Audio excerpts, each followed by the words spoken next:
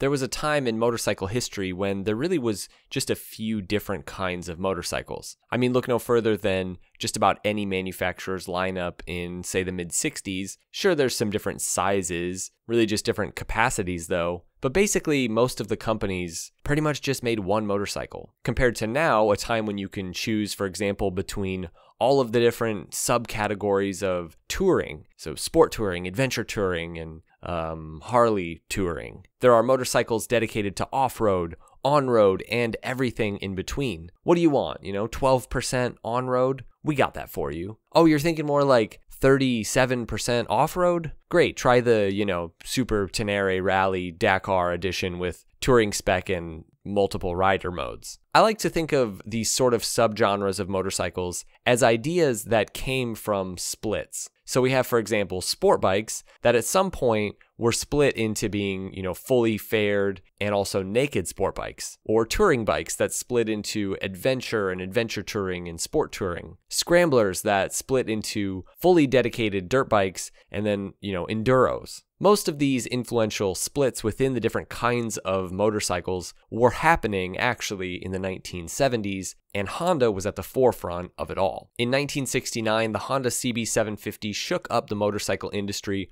harder than a handshake from an insecure old man. The very idea of what a good touring motorcycle could be had been turned on its head by this motorcycle. Reliability, performance, quality, ease of use, affordability, and really just the idea of being able to trust your motorcycle to put down huge miles without problems and without, you know, needing to be a mechanic. Well, all of this was pretty much a new concept. As much as many point to the CB750 as the first superbike, which it certainly was, but in many ways it was really the first great grand touring motorcycles. And like so many great motorcycles, it would experience that same split with Honda's next big endeavor, which was the Goldwing. The high revving inline 4 of the CB750 would go on in one direction in the coming decades, basically sport bikes, but the original intention of the CB750 would go the direction of the Goldwing. By 1972, the next evolution of the CB750 formula, that is a bigger,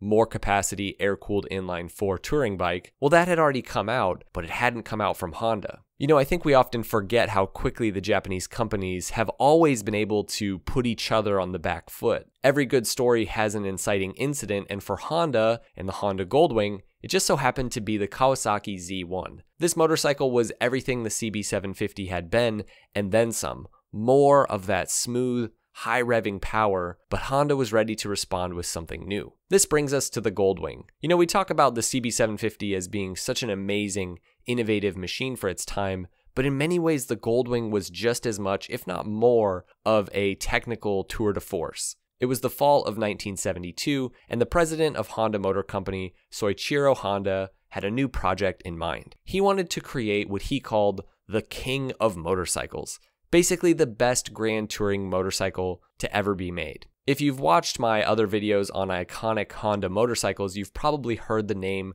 of another Soichiro from Honda, which was Soichiro Irimajiri. Once again, this project was headed up by Irimajiri. That guy just really never missed, honestly. And once again, he was given no simple task to create the undisputed fastest, best machine for grand touring. Project M1 would begin immediately, resulting in a single prototype of unworldly specs for this time 1500 cc's of horizontally opposed or boxer liquid cooled six cylinder goodness with a single camshaft over each set of cylinders. Now, if you know the history of the Goldwing, you know that this specific layout wouldn't come to fruition in the model line for pretty much another 20 years after this prototype was designed. But it's incredible to know that Honda had the long term DNA of the Goldwing all the way back in the mid 70s when they first started working on it. Along with this rather automotive engine tucked into the double cradle frame, much else was taken straight from BMW, including the shaft drive. The package as a whole, though, didn't quite work.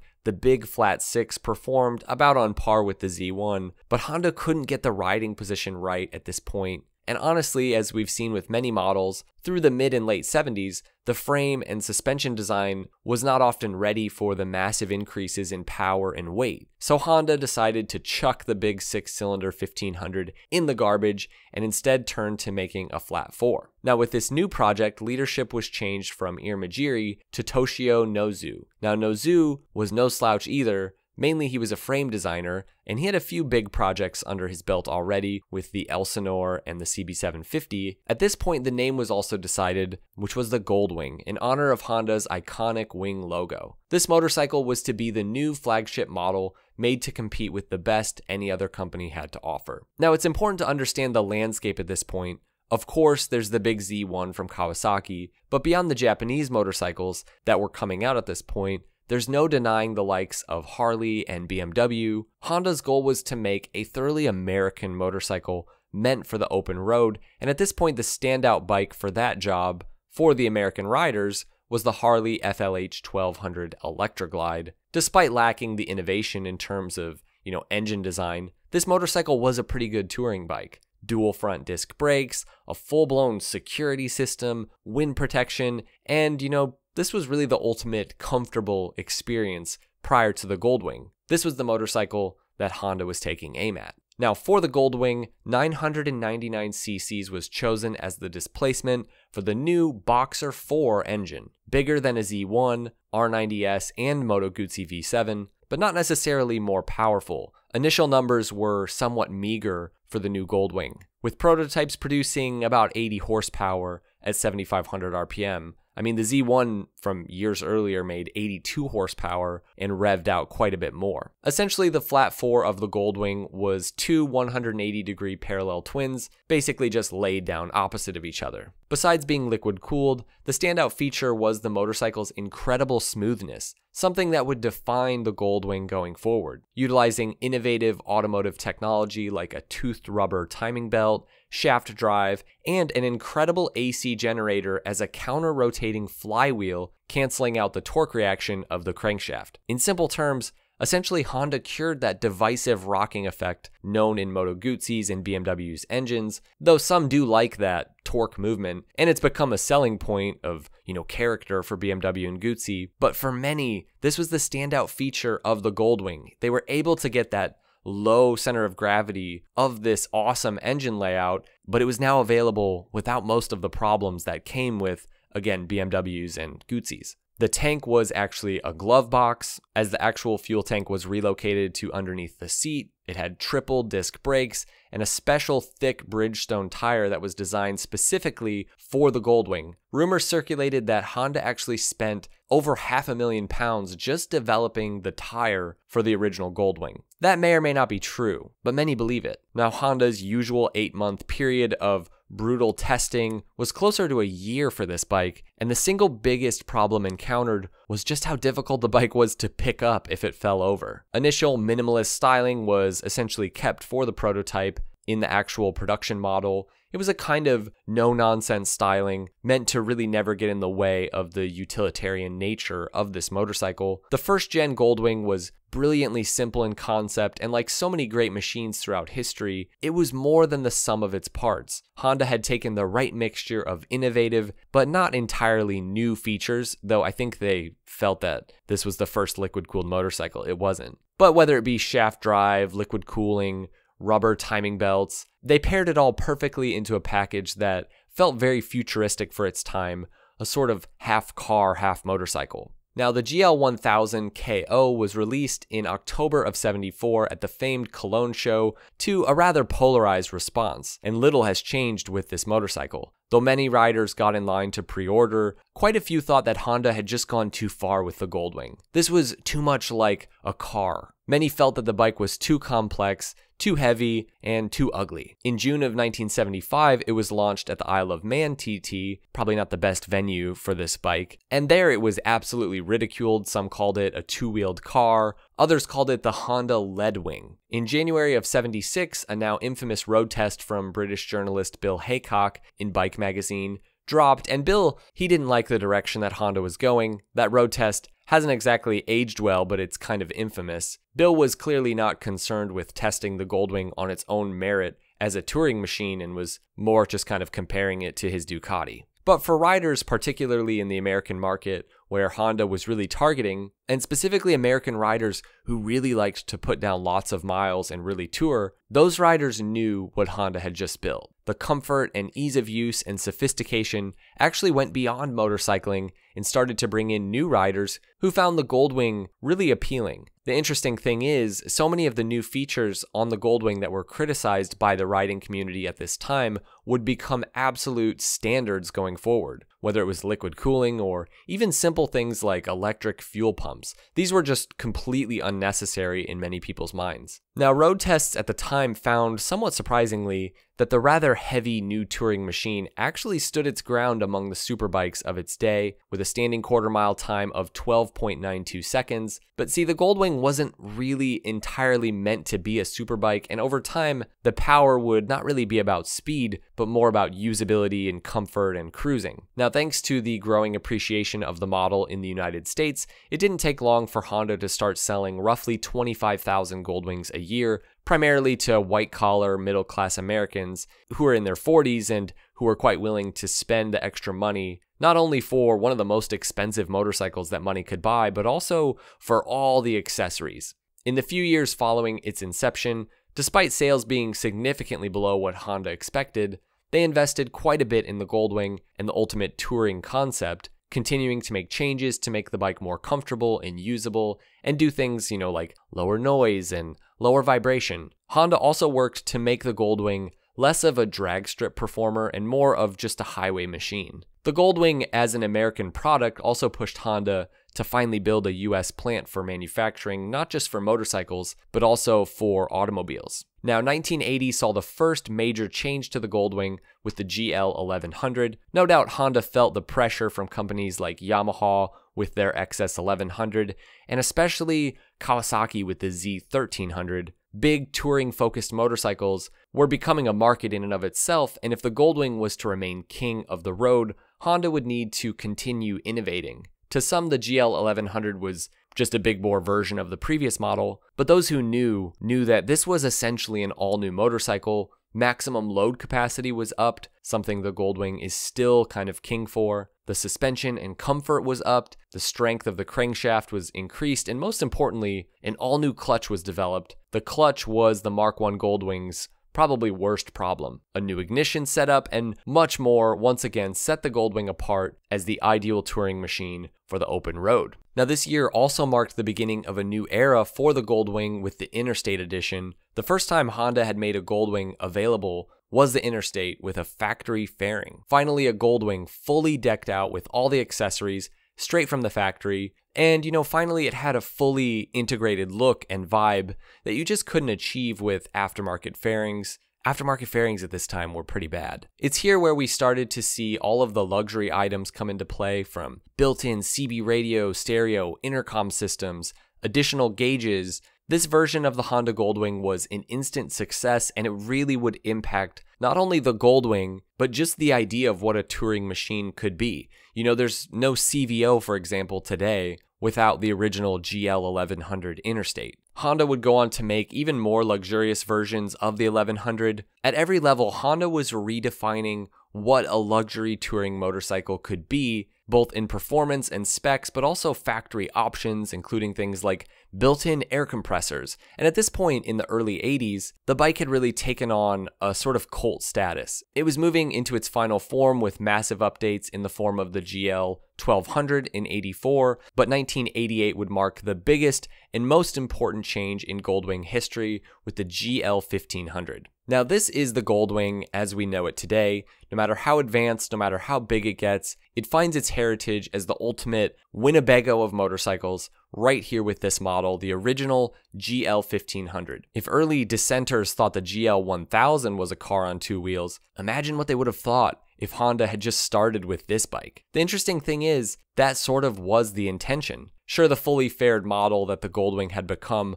wasn't exactly known in 1973 when Irimajiri thought up the big six cylinder Goldwing prototype, but the idea of a full blown kind of car motorcycle was there. Before it was common, Honda actually went to Goldwing owners to see what they would want out of their all new models, and it turns out Goldwing owners just kind of want more of everything more luxury, more smoothness, if that's a thing, and most important, more power. Inspiration from that original prototype of a flat six cylinder liquid cooled engine was right there available, and Soichiro Irimajiri, that is the original project leader who thought up the flat six, he was now the head of American Honda, so it's no surprise that they sort of turned back to that setup. At that time, the length needed to fit a flat 6 was way too much, but now that original prototype, it looked like a mini bike compared to what the Goldwing had become. The new 1500 GL weighed 883 pounds, and it absolutely dwarfed the 484 pound prototype flat 6 from 1973. I mean, think about that. The Goldwing had completely changed the perception of motorcycles. In that time, a big motorcycle was 500 pounds, and now already the Goldwing was pushing 900 pounds. No expense was spared in creating the new Goldwing. 20 separate engines were designed and developed for testing, consistently run at redline for the equivalent of 60,000 miles. Honda had never developed a motorcycle to this extent, and this is exactly why the 1500 Goldwing would go down as one of the most reliable, absolutely indestructible motorcycles of all time. Also, this is a time where Honda just did this. You know, many of Honda's over engineered cars also come out of this time period. I think the real important factor is that the Goldwing had established itself as the premier touring machine at this point, so there was no necessity to also make the Goldwing a superbike anymore or have, you know, superbike performance like the original GL 1000 had to. So Honda went all in on comfort and highway use, with all the engineering really leading to that goal. And also, torque instead of power was really what was prioritized comfort over any sort of real sport bike speed. The dated tubular frame was ditched for the 1500 and replaced with a frame consisting of two giant box section steel main load bearing members, and those ran from the steering head to the swing arm pivot, and everything done to the frame was really meant to not only be able to handle the weight, but also improve handling and maneuverability. And the end product, with you know even more automotive features taken from Honda's experience making cars, was a motorcycle that was smoother, even quieter, lower maintenance, and more sophisticated. Honda went all out with this bike. They even added an electric reverse gear to help riders get the bike around easier. One of the standout features going forward that was in some ways present in the early Goldwings, but really at this point was the focus on passenger comfort. Nothing so roomy and plush and wonderful had ever existed for a pillion. You know, riding passenger on a Goldwing 1500 was better than riding in a car. Well, at least better than riding in the back seat of a car, which does suck. Ultimately, the GL 1500 would go down as the most important innovative touring machine since that original Goldwing some 15 years prior. Despite being one of the most expensive motorcycles that money could buy, throughout the 1990s it would become one of the best selling motorcycles in America. The Goldwing would influence lots of competitors through the 90s and would spawn bikes like the Valkyrie, which is based heavily on the Goldwing platform. Honda would release sidecar and trailer versions of the Goldwing, but the fifth and in some ways final version of the Goldwing would come in 2001 as the GL 1800. Honda wisely chose to stay somewhat conservative with this model. Many speculated an entirely new engine layout, but that just wasn't necessary. The Goldwing was still the best touring motorcycle in the world at this point, so Honda just decided to continue to develop and improve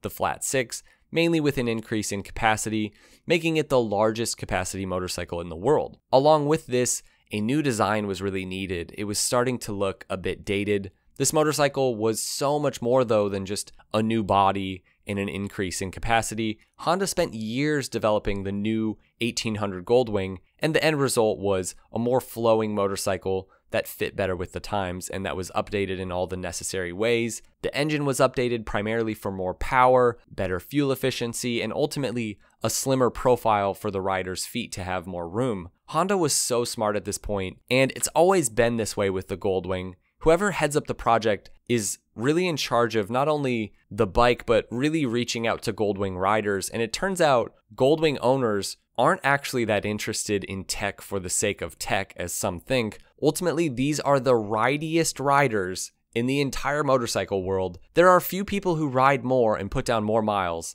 than Goldwing owners, and essentially, they just wanted a better riding machine. The specifics are quite impressive, and at this point, I have to give a shout out to Ian Falloon's wonderful book on the history of the Goldwing. I'll link that down below if you guys are interested in learning more. But yeah, the GL 1800 was completely overhauled. It was essentially a new motorcycle. Now, the final update would come in 2018. Once again, a completely redesigned motorcycle though maintaining the same layout in the same capacity. The Goldwing is now an interesting mix of some of the most state of art technology and, you know, focus on safety. You've got the Goldwing airbag version, but really it's just decades of learning from Honda, learning what it takes to make ultimately a rider's machine. Now, you can't mention the Goldwing without recognizing the Goldwing Road Riders Association, one of the longest running and largest motorcycle clubs ever, with massive influence on Honda in its development of the Goldwing, and really just creating the cult status of this motorcycle. Sadly, the GWRRA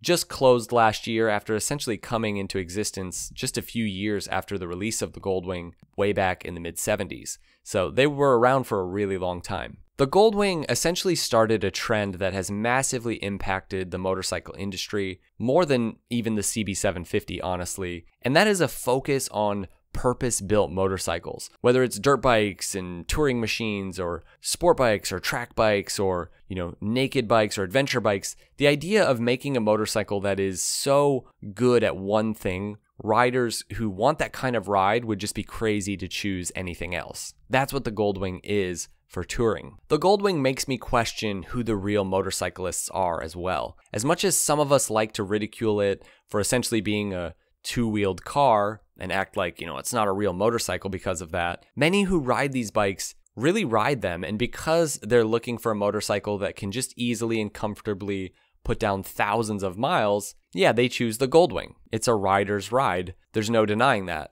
We all use motorcycles for different purposes. Frankly, I don't ride thousands and thousands of miles. And so I'm in no place to talk bad about those who choose a motorcycle primarily because they ride a lot. I mean, how can you hate on that? And here's also the great thing if you do want to put down a bunch of miles and you don't have a lot of money, you can pick up, say, a GL 1500 from the late 80s or early 90s for a few thousand dollars. And sure, it might have 100,000 miles on it, but it's probably got 200,000 more left to go. That thing will go forever. If you really want to ride and you don't care about looking cool, just get yourself an old Goldwing. Well, I hope you guys enjoyed this history of the Honda Goldwing. I know many of you probably have Goldwings or have had Goldwings, and as always, I would love to hear your stories, so let them loose in the comments below, and we'll see you guys in the next one. Ride safe.